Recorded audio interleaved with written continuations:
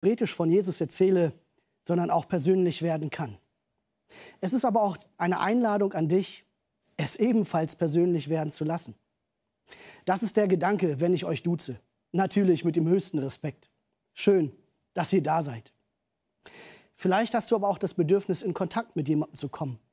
Da gibt es ein tolles Angebot von unseren Kollegen und Kolleginnen hier hinter der Kulisse. Wenn du möchtest, chatte mit ihnen oder schreib eine E-Mail oder ruf an. Seelsorger und Beter stehen dir zur Verfügung. Schön, dass auch ihr da seid, liebe Musiker. Anja und Jonathan, schön, dass ihr da seid.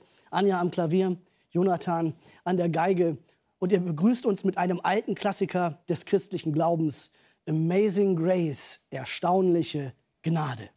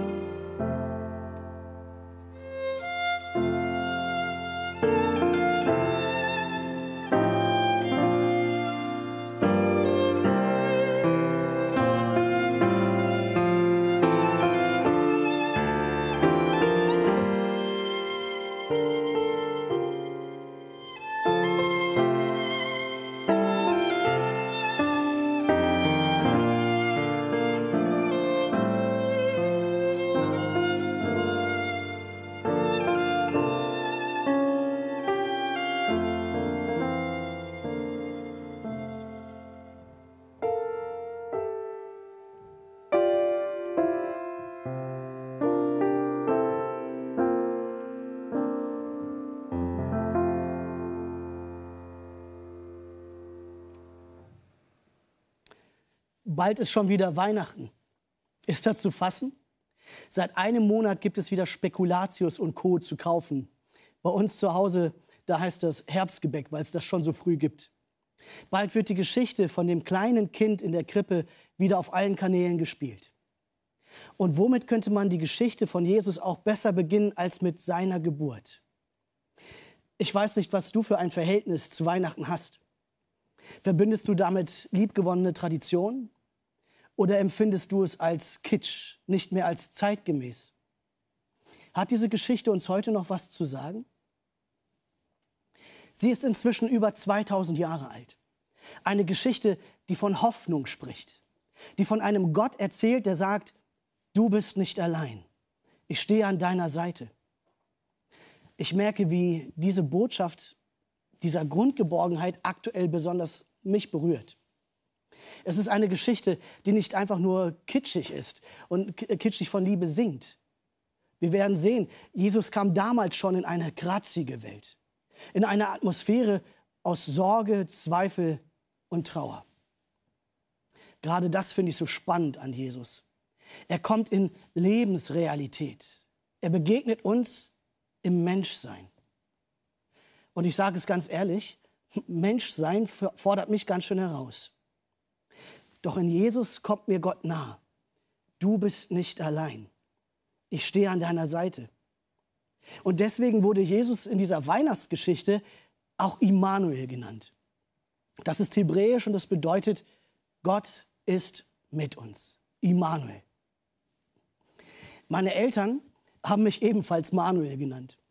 Als Jugendlicher habe ich mal kurz überlegt, wäre es nicht cooler, irgendwie anders zu heißen? Doch inzwischen bin ich so froh, dass ich diesen Namen tragen darf. Gott ist mit uns. Diese Verheißung, die ist jetzt Teil von mir. Meine Eltern haben sie mir in die Wiege gelegt. Gott ist mit uns. Du kannst dein Leben mit ihm gestalten an deiner Seite. Immanuel.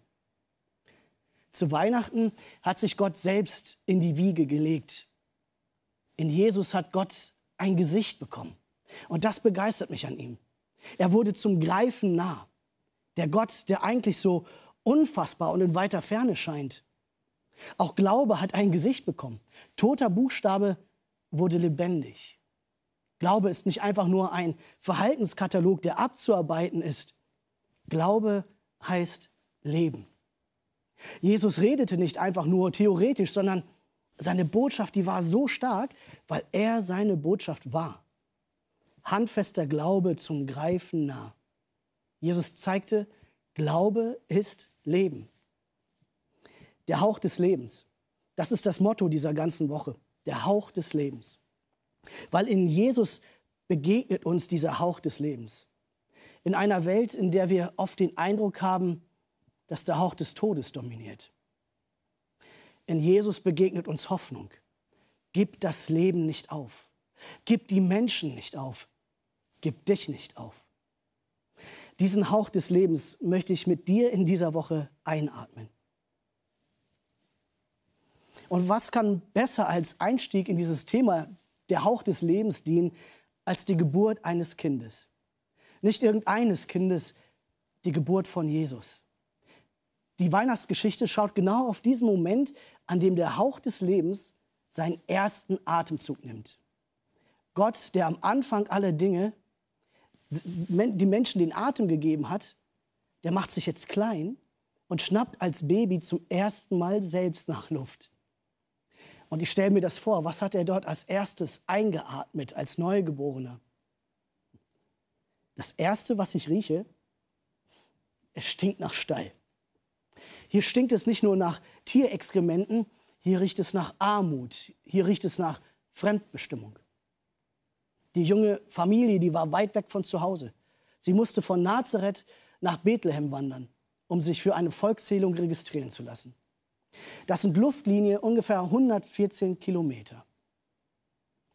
Wenn Sie bei einer Laufgeschwindigkeit von 4 km/h sechs Stunden am Tag gelaufen sind, dann brauchten Sie für diese Reise fünf Tage. Aber Sie sind dorthin ja nicht hingeflogen. Das heißt, der Weg, der war weiter, der war tendenziell sogar bergauf. Und das Ganze schwanger. Sechs Stunden Laufen am Tag? genau, undenkbar. Für eine Volkszählung. Es roch bitter nach Fremdbestimmung. Hier sind wir nicht freiwillig, hier wollen wir eigentlich nicht sein. Ich weiß noch, wie wir die Geburt unserer Kinder bewusst geplant haben. Meine Frau und ich, wir haben ganz genau überlegt, wo und wie die Geburten stattfinden sollen. Aber die Eltern von Jesus, die sind nicht dort, wo sie sein wollen. So werden sie sich die Geburt nicht vorgestellt haben. Dort im Stall, völlig geschafft von dieser langen Reise. Hochschwanger musste Maria diesen Weg bewältigen. Und diesen Stress hat das Neugeborene schon im Mutterleib geschmeckt. Jesus wurde in eine bedrückende Atmosphäre geboren. Schon die Art und Weise, wie er entstand, alles andere als geordnete Verhältnisse. Auch wenn der Messias, der Retter Israels, von allen sehnlichst erwartet wurde, da war Jesus kein Wunschkind. Jesus war kein Wunschkind. Er war nicht geplant. Plötzlich war Maria schwanger, ohne das Zutun ihres Verlobten. Durch das Wirken des Heiligen Geistes, wie auch immer das ausgesehen hat. Jesus, Josef wollte dann Maria heimlich verlassen. Wir merken also, Jesus kommt nicht in eine heile Welt. Das Erste, was er als Fötus schmeckt, das sind die Stresshormone seiner Mutter. Wir erzählen diese Geschichte immer so romantisch. Das Kind, das in der weichen Krippe liegt, kunstvoll geschnitzte Hirtenfiguren an seiner Seite, beleuchtet von sanftem Kerzenschein. Engel aus Marzipan sind an der Decke. Doch die Atmosphäre, die war nicht weich und kuschelig. Als der Hauch des Lebens seinen ersten Atemzug nahm, da herrschte dicke Luft. Es war eine Luft, die schon lange Zeit von seinen Mitmenschen ein- und ausgeatmet wurde. Und diese Luft, die beherrschte den Alltag. Und sie wurde nicht minder geprägt durch eine Person, die uns jetzt in dieser Geburtsgeschichte von Jesus als Gegenfigur präsentiert wird. Herodes, genannt der Große, der von den Römern eingesetzte König über Judäa. Er ist die Person, in der der Hauch des Lebens gleich am Anfang mit dem Hauch des Todes konfrontiert wird. Lass uns diese beiden Kontrahenten mal näher anschauen. Wir finden die Geschichte in Matthäus 2. Ich lese daraus einen Auszug. Jesus wurde in der Stadt Bethlehem in Judäa während der Herrschaft von König Herodes geboren. In dieser Zeit kamen einige Sterndeuter aus einem Land im Osten nach Jerusalem und fragten überall, wo ist denn der neugeborene König der Juden? Wir haben seinen Stern aufgehen sehen und wir sind gekommen, um ihn anzubeten. Ihre Frage versetzte Herodes in große Unruhe und alle Einwohner Jerusalems mit ihm. Daraufhin sandte Herodes eine geheime Botschaft an die Sterndeuter und bat sie zu sich. Er sagte zu ihnen, geht nach Bethlehem und sucht das Kind. Wenn ihr es gefunden habt, dann kommt wieder her und erzählt es mir, damit ich auch hingehen kann, um es anzubeten. Als es Zeit war, wieder aufzubrechen, zogen sie jedoch auf einem anderen Weg in ihre Heimat zurück. Denn Gott hatte sie in einem Traum davor gewarnt, zu Herodes zurückzukehren. Nachdem die Sterndeuter gegangen waren, erschien Josef im Traum ein Engel des Herrn. Steh auf und flieh mit dem Kind und seiner Mutter nach Ägypten, sagte der Engel. Bleib dort, bis ich dir sage, dass ihr zurückkehren könnt, denn Herodes will das Kind umbringen. Herodes war außer sich vor Zorn, als er erfuhr, dass die Sterndeuter ihn hintergangen hatten. Er schickte Soldaten aus, die in Bethlehem und der ganzen Umgebung alle Jungen im Alter von zwei Jahren und jünger umbringen sollten. Was für eine grausame Geschichte, diese Weihnachtsgeschichte. Der Hauch des Lebens, er kommt zur Welt und das Erste, was wir lesen, ist, dass der Hauch des Todes ihm den Gar ausmachen möchte. Der Hauch des Todes bäumt sich auf. So sehr, dass die Eltern von Jesus mit ihm nach Ägypten fliehen. Aber warum war das nötig? Warum hatte sich Herodes damals so aufgespielt? Warum hat er so entsetzlich auf die Frage der Sterndeuter reagiert? Um das zu verstehen, müssen wir einen Blick auf die Thronkarriere von Herodes werfen. Hier werden wir sehen, das war nicht das erste Mal. In der Handlung von Herodes, da besteht ein Muster. Ein Muster, das sich um diesen Titel dreht, König der Juden.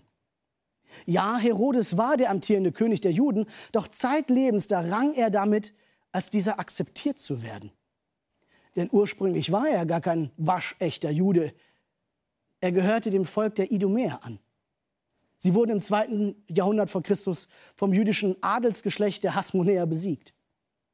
Die stellten damals nämlich immer ihre Könige. Sie waren König der Juden. Doch in diesem Königshaus, da brachen, brachen Unruhen aus. Brüder konkurrierten miteinander um diese Herrschaft. Herodes Familie unterstützt dabei Hyrkanos II. Mit Hilfe von Rom wird Jerusalem erobert und Hyrkanos wird 63 vor Christus von Rom Regent über Judäa. Von nun an sagt Rom, wer regiert und wer nicht. Und tatsächlich sagt Rom 40 vor Christus, Herodes, du bist jetzt König. Der Idumäer Herodes ist amtierender König der Juden. Ein Titel, der mit viel Blutvergießen erworben wurde. Ein Titel, der hart umkämpft ist mit Bündnissen, Intrigen und Waffengewalt. Wir merken also, wenn die Sterndeuter nun von einem neugeborenen König der Juden sprechen, dann fällt dieser Begriff nicht in einen luftleeren Raum. Er fällt in einen Raum, in dem sich der amtierende König natürlich bedroht fühlt. Aber das war nichts Neues für ihn. Damit kannte er sich schon längst aus. Seine Herrschaft, die wurde begleitet um das Ringen nach Anerkennung von seinem Volk. Er hat alles dafür getan, König der Juden zu sein und dass dieser akzeptiert zu werden. Als erstes greift er auf ein Mittel zurück, das in der royalen Politik gerne genutzt wurde, um Machtverhältnisse zu stabilisieren. Er heiratet. Und er heiratet nicht irgendjemanden, er heiratet eine echte Hasmonäer-Prinzessin, Mariamne. Das ist die Enkelin von Hyrkanus II.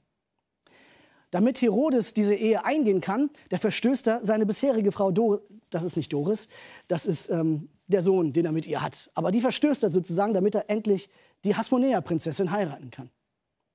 Auch wenn er jetzt selbst kein Hasmonäer war, da hatte er nun zumindest in dieses jüdische Adelsgeschlecht eingeheiratet. Mariamne und er, sie bekommen zwei Kinder, zwei potenzielle hasmonäische Thronfolger. Doch dann hatte er jetzt eben die Konkurrenz direkt in seinem eigenen Haus. Und das wurde tatsächlich zum Problem für ihn. Da war zum Beispiel sein Schwager, der Bruder von Mariamne, seiner Frau, Aristobulus. Der erfreute sich größter Beliebtheit im Volk. Mit 16 Jahren, da wurde er zum hohen Priester eingesetzt und dem wurde zugejubelt, was das Zeug hält. Der strahlte den Glanz dieser Hasmonäer-Dynastie richtig aus. War hier jetzt ein neuer royaler Superstar? Ein neuer König der Juden? Herodes, der witterte jetzt Bedrohung. Und was folgt? Das geht als Badeunfall in die Geschichte ein. Doch es ist naheliegend, dass Herodes dabei deutlich seine Finger im Spiel hatte, weil ihm gehörte der Pool, zu dem er eingeladen hatte in seiner Residenz in, da in seinem Palast. Und die Diener scheinen ihn dort unter Wasser gedrückt zu haben. Er konnte es nicht zulassen, dass der Stern seines Schwagers aufgeht, weil das würde ja bedeuten, dass sein eigener Stern verblasst. Und jetzt sagen diese Sterndeuter in unserer Geschichte, wir sahen einen Stern aufgehen. Diesen Stern von damals, sein Schwager, den hatte er schon vom Himmel gerissen. Doch im Himmel, da war noch so manch anderer Stern, der ihm als König der Juden ja gefährlich werden könnte. Zum Beispiel der Opa von seiner Frau. Herodes lässt ihn 30 nach Christus hinrichten. Gefahr genannt, Gefahr gebannt. Aristobulus hängt hier noch. Gefahr genannt, Gefahr gebannt. Doch damit hört die Geschichte nicht auf. Ein Jahr später lässt er seine Frau hinrichten. Mariamne, die Hasmonäer-Prinzessin. Die bringt die beiden Hasmonäer-Söhne vielleicht noch auf dumme Gedanken. Gefahr erkannt, Gefahr gebannt. Doch hier hört die Geschichte immer noch nicht auf. Wieder ein Jahr später, da lässt er seine hasmonäische Schwiegermutter töten. Gefahr erkannt, Gefahr gebannt. Und hier hört die Geschichte immer noch nicht auf. Gegen Ende seines Lebens, da soll Herodes immer verbitterter und paranoider geworden sein. Und so lässt er sieben vor Christus seine eigenen Kinder umbringen. Die beiden Söhne dieser Hasmonäer-Prinzessin. Eigentlich sollten sie ja seine Nachfolger werden, doch anscheinend kam sie seinem Thron zu früh zu nahe. Gefahr erkannt, Gefahr gebannt. Und hier hört die Geschichte immer noch nicht auf. Von nun an setzt Herodes alles wieder auf den erstgeborenen Sohn aus seiner ersten Ehe mit der Frau, die er für die Hasmonäer-Prinzessin verstoßen hatte. Doch vier vor Christus, fünf Tage vor seinem eigenen Tod, du ahnst schon, was jetzt kommt, Gefahr erkannt, Gefahr gebannt. Von Schmerzen geplagt, da schien die Krone des Königs der Juden eigentlich viel zu schwer für Herodes zu sein. Doch er krallte sich so fest an ihr, so sehr, dass er seinen Nachfolger, seinen eigenen Sohn über die Klinge springen lässt. Schon wieder. Es gibt eine Überlieferung von dem Historiker Flavius Josephus, die zeigt, wie verbittert und paranoid Herodes besonders am Ende dieses Lebens war.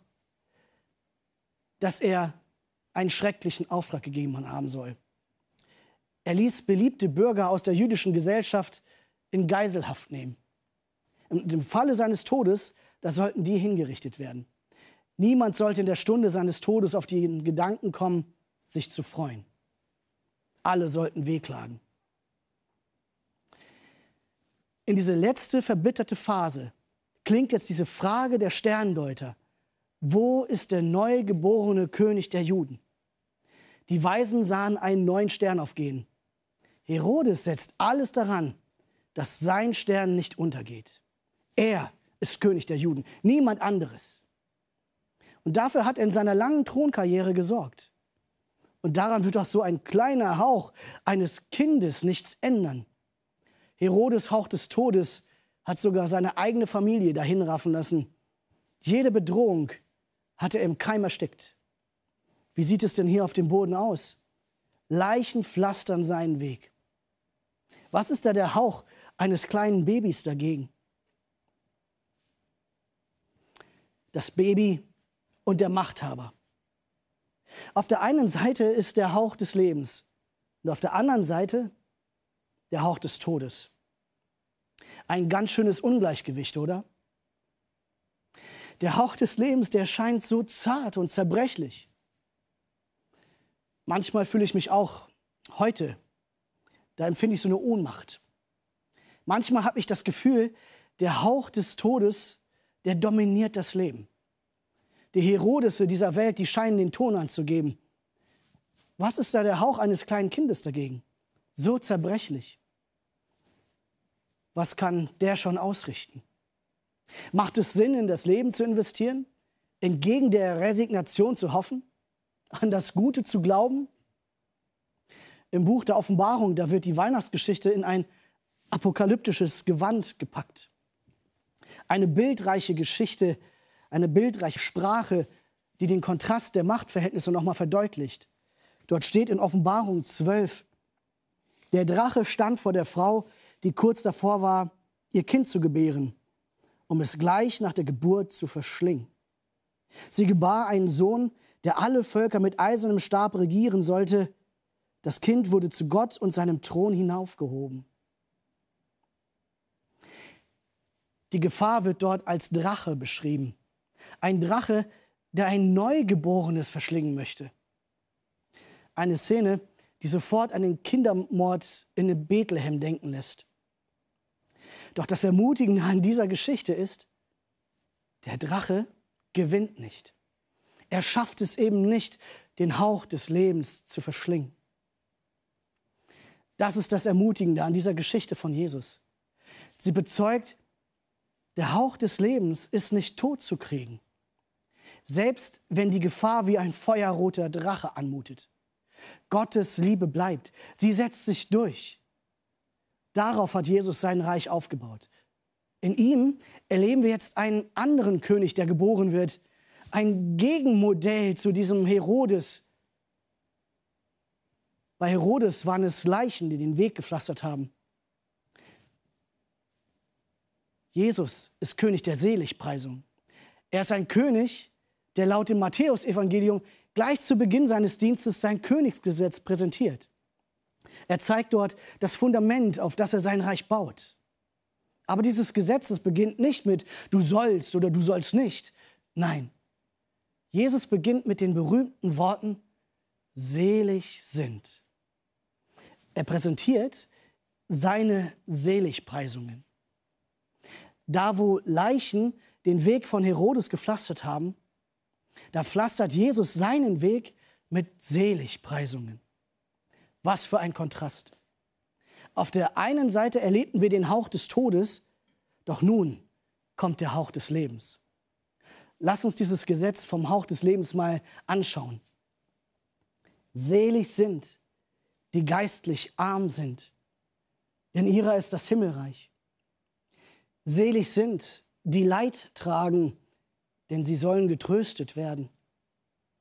Selig sind die Sanftmütigen, denn sie werden das Erdreich besitzen. Selig sind, die nach Gerechtigkeit dürsten, denn sie sollen satt werden. Selig sind.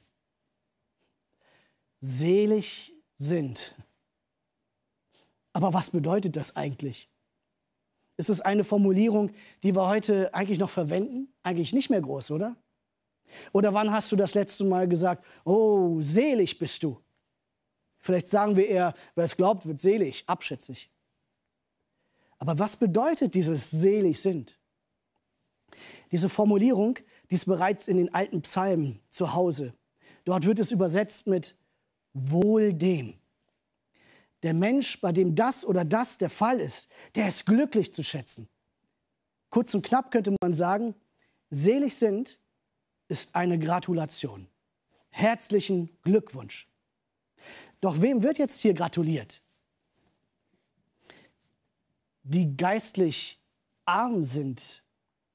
Es kann auch übersetzt werden mit denen es an Atem fehlt, die arm an Atem sind, denen es, an Lebenskraft fehlt, die, die Leid tragen, die auf sanften Pfoten gehen und auf Machtgebaren verzichten, die, die von anderen übervorteilt werden.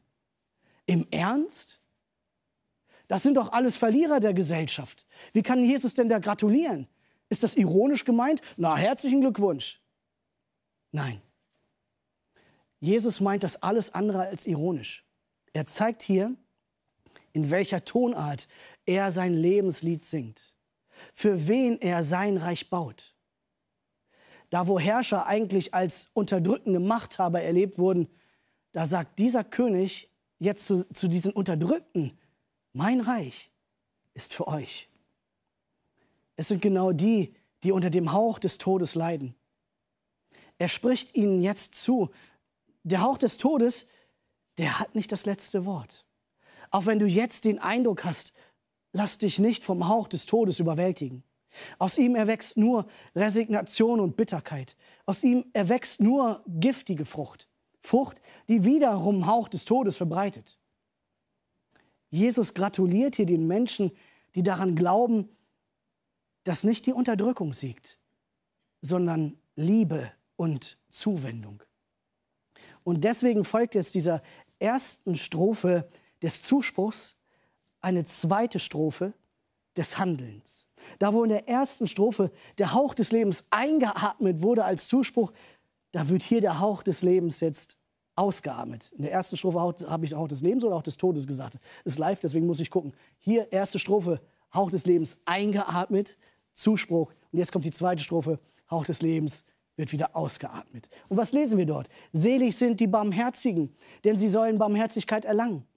Selig sind die reinen Herzens sind, denn sie werden Gott schauen. Selig sind die Frieden stiften, denn sie werden Gottes Kinder heißen. Selig sind, die um der Gerechtigkeit willen verfolgt werden, denn ihrer ist das Himmelreich. In der ersten Strophe setzt Jesus den Rhythmus der Hoffnung. Und in der zweiten Strophe wird nach ihm getanzt. In der ersten Strophe, da seht er Zuspruch und in der zweiten Strophe, da erwächst daraus Handlung. Barmherzigkeit.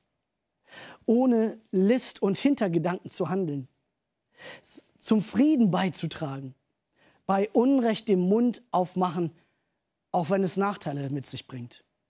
Taten, die an die Kraft des Guten glauben. Jesus gratuliert den Menschen, die sich nicht vom Hauch des Todes überwältigen lassen, die selbst, wenn die Welt das Lied vom Tod spielt, sagen, dieses Lied soll nicht das, den Ton in meinem Leben angeben. Die sagen, das ist nicht der Rhythmus, nach dem ich tanzen will. Jesus gratuliert ihnen. Selig sind die, die den Hauch des Lebens einatmen und ausatmen. Wir könnten jetzt aber vielleicht sagen, Herodes hatte doch aber Erfolg mit seiner Methode. Er hatte mit ihr knapp vier Jahrzehnte regiert.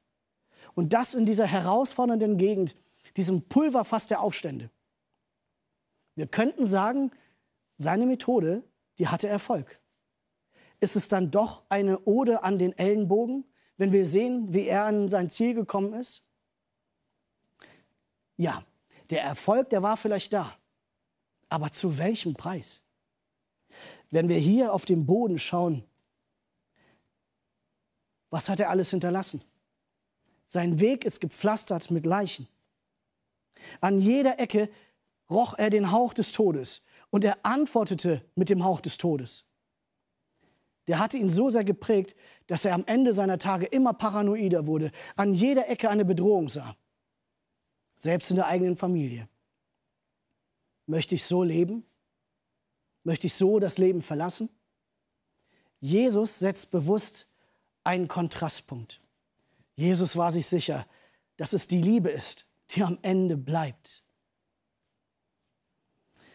Ich weiß, das ist eine Aussage, die unheimlich herausfordernd ist, ganz besonders jetzt in dieser Zeit. Bei all den destruktiven Chaosmächten, die gerade wüten. Doch die Botschaft von dem Kind in der Krippe, die lautet, Gib die Hoffnung nicht auf. Gottes Liebe setzt sich durch. Gottes Liebe ist nicht tot zu kriegen. Angesichts der vielen Schreckensbilder, die uns durch Kriege gerade erreichen, da fühle ich eine Ohnmacht. Was kann ich schon ausrichten in diesen Szenarien? Ist die Botschaft vom Hauch des Lebens eigentlich mit der Realität vereinbar? Oder ist sie realitätsfern? Nach dem Motto, schön wär's, aber was kann ich schon ausrichten?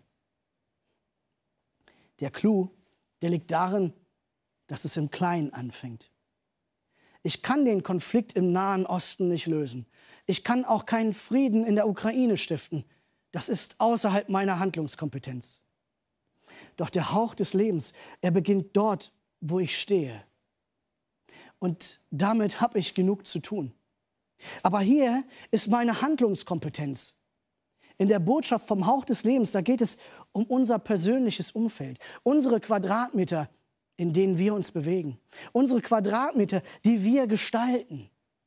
Und da heißt es, gib die Hoffnung nicht auf. Wir atmen dort, wo wir leben, Gottes Liebe ein und wieder aus. Das ist alles, was es braucht. Denn wenn jedem das auf seinem Quadratmeter gelingt, da haben wir mal was anderes als ein Flächenbrand. Flächenbrand, eine viel bemühte Vokabel in dieser letzten Zeit. Aber stell dir mal vor, wir haben statt einem Flächenbrand einen flächendeckenden Zusammenhalt. Ein Flächenband statt einen Flächenbrand. Das ist möglich, wenn jeder in seinem Quadratmeter Gottes Liebe ein- und ausatmet. Das ist möglich, wenn wir den Hauch des Todes, den wir persönlich einatmen, wahrnehmen und auch als diesen identifizieren, ihn nicht verleugnen, aber uns auch dafür entscheiden, ihn nicht wieder um ein Vielfaches auszupusten. Wir entscheiden uns gegen den Hauch des Todes. Stattdessen haben wir Mut, den Hauch des Lebens zu investieren. Nicht nur Destruktivität ist ansteckend, auch Liebe ist ansteckend. Jesus steckt uns mit Liebe an. Lass uns gegenseitig mit Liebe anstecken, uns gegenseitig dazu motivieren. Heißt das, dass wir dem Hauch des Todes alles durchgehen lassen? Nein, im Gegenteil. Wer liebt, der bezieht Stellung. Wer liebt, der schenkt Schutzraum. Und wer Schutzraum schenkt, der sagt auch Nein, stopp. Wer liebt, weigert sich zu resignieren. Wer liebt, der glaubt daran, dass sich Liebe am Ende durchsetzt. Gottes Liebe ist nicht tot zu kriegen.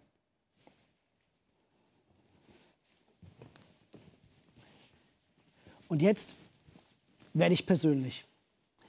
Und ich schaue jetzt mal so in meinen Quadratmeter. Vor acht Jahren haben meine Frau und ich uns entschieden, Hauch des Lebens zu investieren. Mit fünf Wochen kam er zu uns, unser Pflegesohn. Er sieht nicht aus wie ich und er hat auch keinen meiner Wesenszüge. Noch nicht. Er hat nicht meine Gene. Und trotzdem ist er mein Sohn. Ich bin sein Papa. Nicht aufgrund von Abstammung und von Blut. Nee, aufgrund einer Entscheidung. Wir sind eine Familie. Er hat vielleicht nicht meine DNA, aber er hat mein Herz. Ich will nicht zu viel erzählen, weil das ist seine private Geschichte, seine Geschichte, wo ich ein Stück von ihm mit ihm teilen darf. Nur so viel. An vielen Stellen hat der Hauch des Todes Spuren bei ihm hinterlassen. Und jeder, der ein Pflegekind aufnehmen, und ich weiß, es sind einige, die wissen um diese Dynamik. Dieser Hauch des Todes hat Spuren bei ihm hinterlassen, lange vor seiner Geburt ohne dass er etwas dafür kann, geschweige denn sich dafür entschieden hat.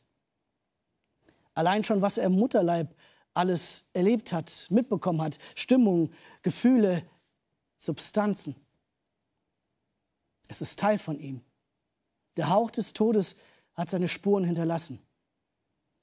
Doch der soll in seinem Leben nicht den Ton angeben.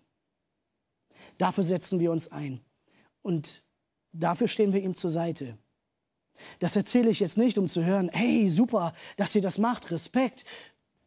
Nein, wir kommen da an unsere Grenzen und wir machen Fehler und wir sind manchmal auch ratlos.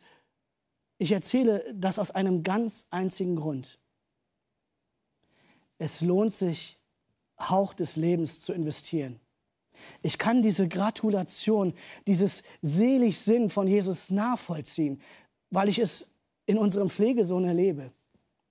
Doch an vielen Stellen erlebt er weiterhin Hauch des Todes in Benachteiligung und Ausgrenzung.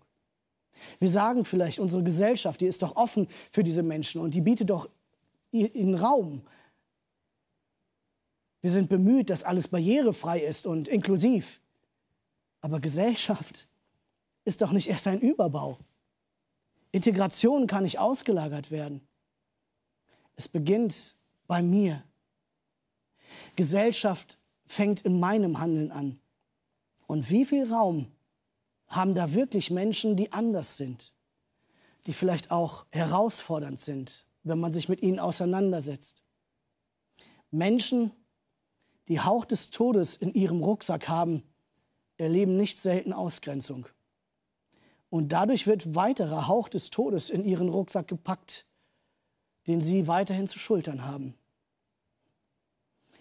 Wir haben uns bei unserem Pflegesohn dazu entschieden, bewusst in den Hauch des Lebens zu investieren. Gerade da, wo Hauch des Todes mitgegeben wurde. An manchen Stellen ist es anstrengend und frustrierend. Und an einigen Stellen werde ich auch mit dem Hauch des Todes in mir konfrontiert, der in mir existiert. Aber an vielen Stellen ist das so schön. Wenn ich an ihn denke, dann kommen mir die Tränen in die Augen, weil ich ihn so lieb habe. Er ist ein so toller Mensch, ein, ein Mensch, der so viel Lebensfreude ausstrahlt, der so begeistert sein kann und der sich freuen kann. Sein Lächeln, das geht übers ganze Gesicht. Er ist ein Mensch, in dem so viel Hauch des Lebens schlummert, wenn man daran glaubt und ihn einfach nur lässt.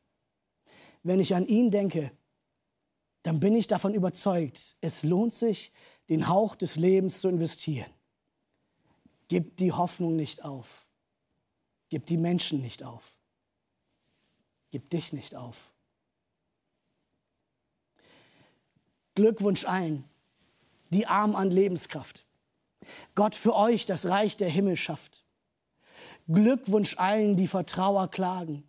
Gott wird euch auf Händen tragen. Glückwunsch allen, die sind machtlos. Euch fällt das gelobte Land einst in den Schoß. Glückwunsch allen, die nach Gerechtigkeit dürsten. Ihr sollt sie speisen und das wie Fürsten. Gut, diese vier Verse verheißen des Leides Wandlung, doch die nächsten vier rufen uns auf zur Handlung.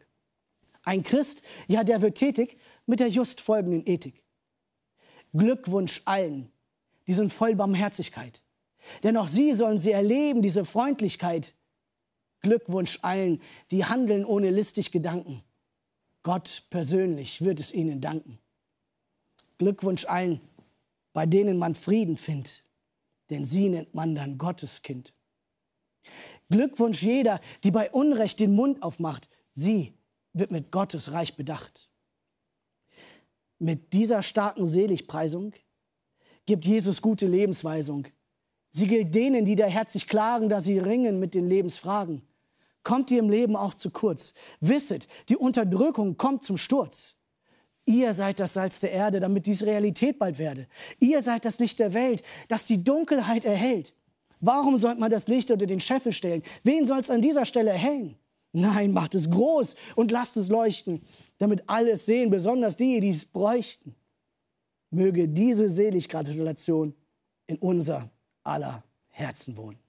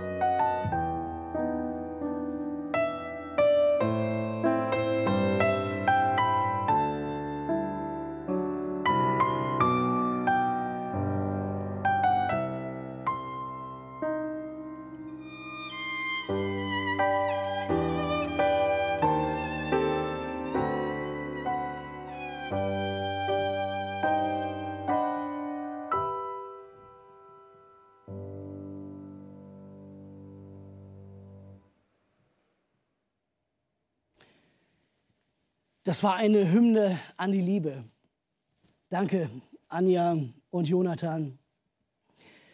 Ich hoffe, dass der Klang dieses Liedes in unser Leben schwappt, auch wenn ganz anderes den Ton angeben möchte. Wie geht es dir mit dem Thema Hoffnung? Gelingt es dir, optimistisch zu bleiben? Wie? Erzähl es uns gerne. Hast du schon mal erlebt, dass Liebe ansteckend war? Oder fällt es dir gerade schwer? Wir haben heute Abend, wie beginnt schon erwähnt, verschiedene Angebote für dich. Ruf an, chatte oder schreib uns eine Mail. Unser Team aus Seelsorgern und Betern steht für dich bereitet. Ich möchte jetzt noch beten. Herr unser Gott, wir danken dir dafür, dass du uns den Hauch des Lebens geschenkt hast. Nicht nur zu Beginn unseres Lebens, sondern dass du dich auch selbst geschenkt hast, wo wir jetzt zu Weihnachten auch wieder dran denken. Du bist als Hoffnung in die Welt gekommen, in eine Zeit, wo der Hauch des Todes um sich gebissen hat. Und wir merken auch, wie heute der Hauch des Todes um sich beißt und die Herodese dieser Welt zu dominieren scheinen. Wir bitten dich darum, dass du uns Mut und Hoffnung schenkst, dass wir daran glauben, dass deine Liebe nicht tot zu kriegen ist.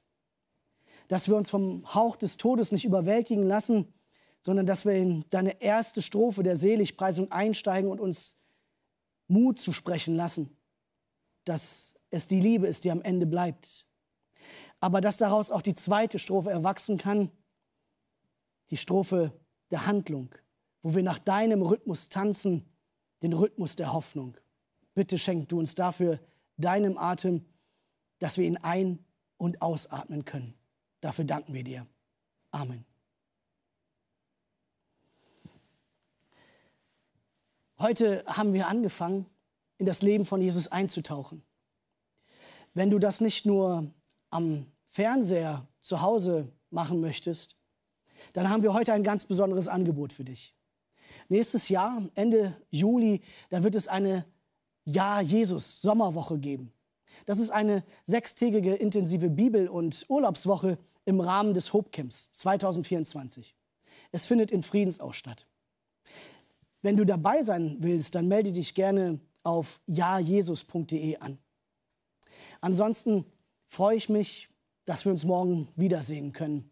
Dort gehen wir den nächsten Schritt in dem Leben von Jesus. Und zwar ist dort das, das Thema Jesus und mein Schritt ins Unbekannte. Und was das Ganze mit einer Machete zu tun hat, das werden wir morgen erleben. Einen schönen Abend noch. Tschüss.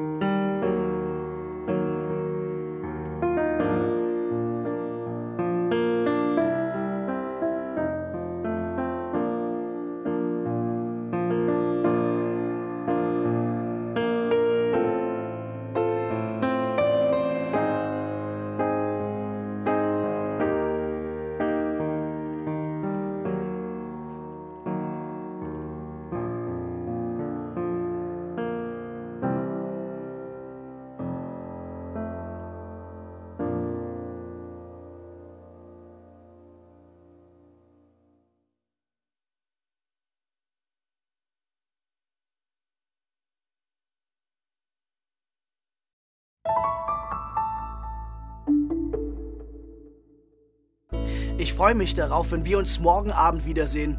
20.15 Uhr hier auf Hope TV. Bis dahin, Gott mit Ihnen.